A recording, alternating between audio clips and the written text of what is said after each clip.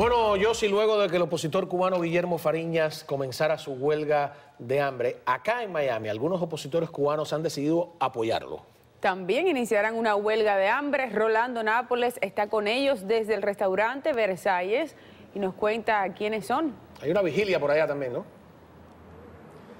Sí, efectivamente, estamos aquí en el restaurante Versalles, donde ya empezó la vigilia convocada por la Unión Patriótica de Cuba, el Movimiento Democracia y la Fundación Nacional Cubano-Americana. A mi lado está el líder del UNPACO, José Daniel Ferrer. Buenas, José Daniel. Bueno, sabemos que está, empezó esta vigilia.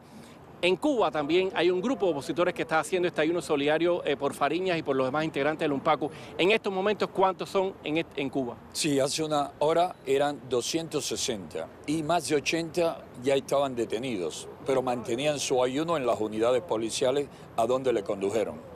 ¿Por qué esta vigilia? ¿Por qué esta huelga de hambre en estos momentos usted creen que es importante pese al riesgo que tiene la vida de muchos de ellos, sobre todo Guillermo Fariña? Hubiésemos querido evitar esa huelga, hubiésemos querido eh, buscar otra fórmula de accionar para ponerle eh, fin o por lo menos para protestar contra la creciente violencia del régimen contra activistas pacíficos, contra damas de blanco. Pero estos hermanos han decidido cargar sobre sus hombros con ese gran costo, con ese gran sacrificio y la cuestión está en que el régimen cada vez reprime con más violencia, cada vez allana más vivienda, roba más a los activistas y esto no se puede seguir permitiendo. Por eso ellos deciden declararse en huelga de hambre y nosotros les estamos apoyando de mil maneras, de cuantas fórmula encontremos para apoyarle pacíficamente. Por cierto, hoy en la mañana hubo una conferencia de prensa que la dio también José Daniel, donde se pudo conversar con algunos de los huelguistas, uno de ellos eh, Guillermo Fariñas, y aquí tenemos un fragmento de su llamada telefónica aquí en esta conferencia de prensa.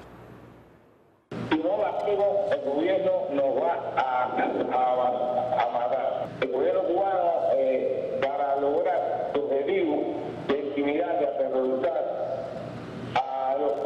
estamos de frente a él, eh, está propia ley. Si Dios que nosotros moramos, vamos a morir.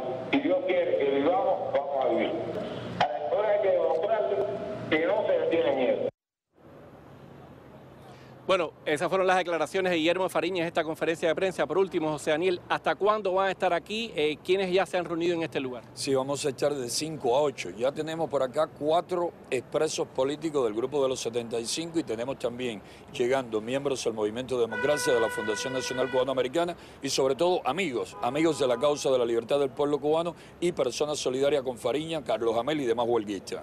Bueno, muchas gracias José Daniel. Eh, es lo que estamos aquí en el restaurante Versalles, en este ayuno solidario, en esta vigilia por los huelguistas que en estos momentos están eh, haciendo esta protesta en la isla. Es todo lo que tenemos en vivo. Ahora regreso con ustedes al estudio.